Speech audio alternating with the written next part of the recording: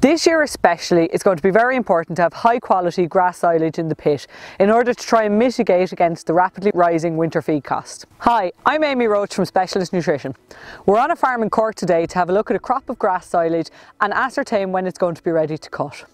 With rapidly rising feed costs, a high quality first cut silage is going to be more important this year than any other year.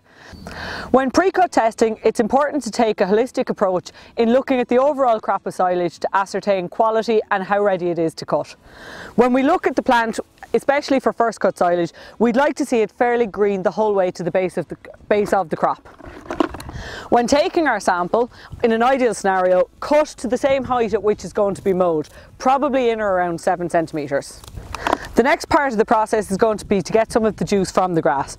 I'm using a very very simple garlic press as a means to get the moisture out of the crop and this moisture is what I'm going to test for both the sugars and the nitrates level. The nitrates level is what I'll be looking for first as it's generally my limiting factor as to when I'm going to cut. In an ideal scenario we'd like it to be below 400 on our testing strips.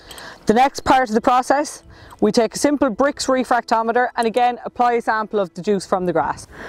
With the Brix refractometer I'm kind of looking at it to see where the, what sugar levels it's going to give me. We're very, very early May and this crop is currently sitting at around a 3 on the Brix refractometer, which means sugar levels are probably just in or around a 2. While this crop is going to be cooked quite early, it's going to be and is going to require an additive to help with the release of sugars for the fermentation process. In some cases you can see later if we got a lot of sunshine, this figure will climb an awful lot higher. It's very important with the year that we have and feed costs where they are to look for as much quality as possible in our homegrown forages. A useful figure to remember is that five points of DMD is equivalent to between a kilo and a kilo and a half of meal.